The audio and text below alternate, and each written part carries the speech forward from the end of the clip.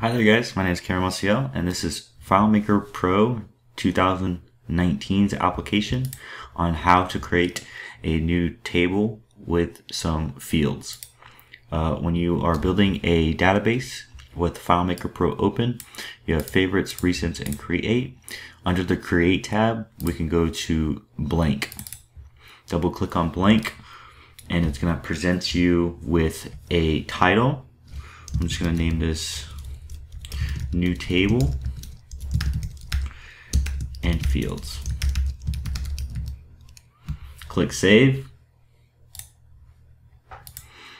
This dialog box of Manage Database for tables. You have your tables, fields, and relationships. Uh, if this doesn't pop up, which it should with a new database, if you're opening a database that you've already started, you can go to File, Manage, Database, or you can hold down Shift Command D. If this is a new database like we just created here, it's going to automatically create a new table based off of that database name. I usually delete this table and then you can start adding new tables and fields and relationships by typing in this table name field. We're going to create um, a table called books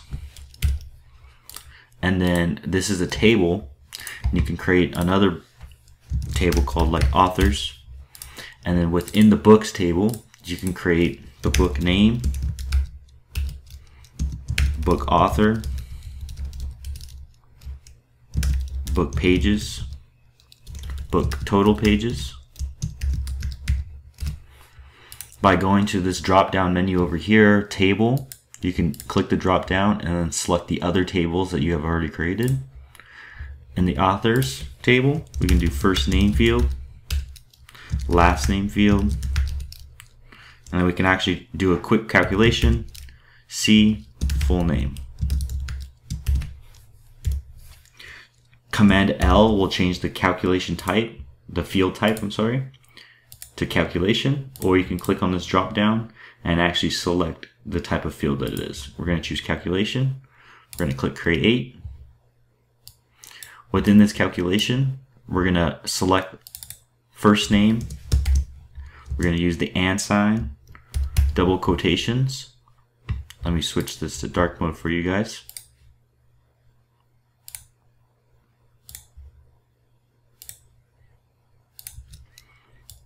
First name and double quotations, space in between the quotations and last name.